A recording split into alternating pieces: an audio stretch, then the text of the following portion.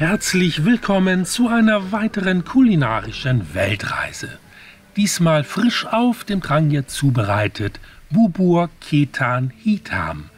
Das ist das indonesische Nationalgericht auf Bali. Übersetzt in etwa schwarzer Reispudding. Kommt dem heimischen Milchreis sehr nahe. Viel Spaß auf Bali. Nachkochen ausdrücklich erwünscht.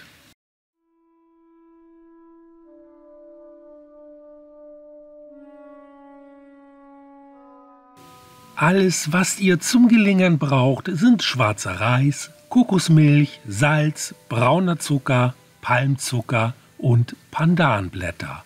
Ach ja, und eine Kanne Wasser.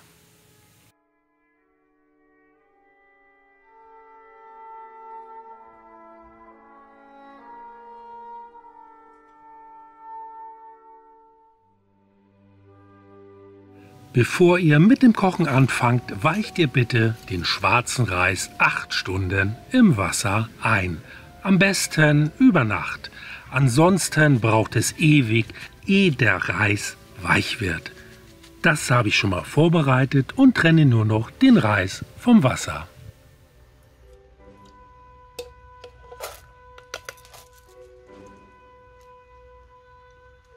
So dann wird der Trangia gezündet. Dann kommt der Reis ins Spiel mit ausreichend Kokosmilch.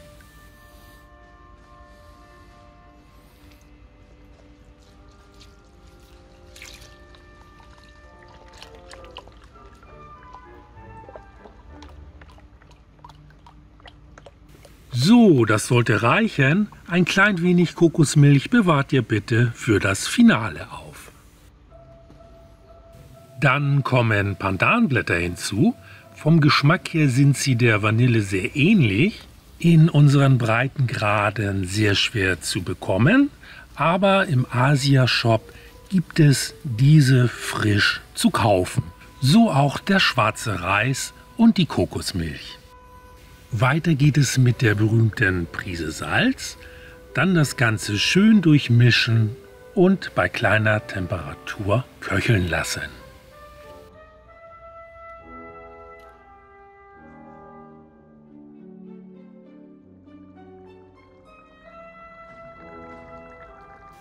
Ihr seht, das Ganze verfärbt sich nach einer Weile braun-schwarz. Wenn das bei euch genauso ist, seid ihr auf dem richtigen Weg.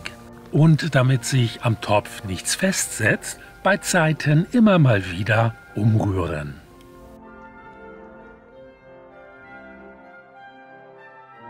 Perfekt. Nach gut einer Brennstofffüllung habt ihr die erste Hürde genommen. Der Reis wird zum Ruhen beiseite gestellt. Die zweite Hürde folgt dann sogleich, und zwar mit der Herstellung des Sirups.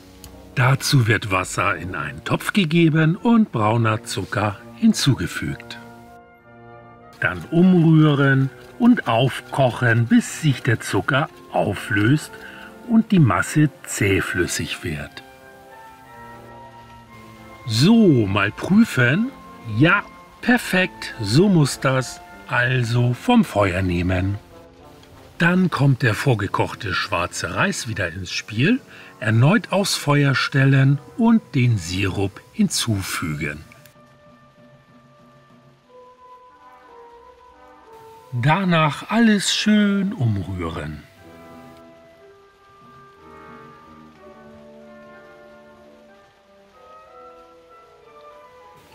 Und fast hätte ich es vergessen, es kommt ja noch eine weitere Zuckerart dazu, und zwar Palmzucker. Auch diesen gut untermischen. Jetzt fragt ihr euch bestimmt, warum denn so viele Zuckerarten in diesem Rezept vonnöten sind.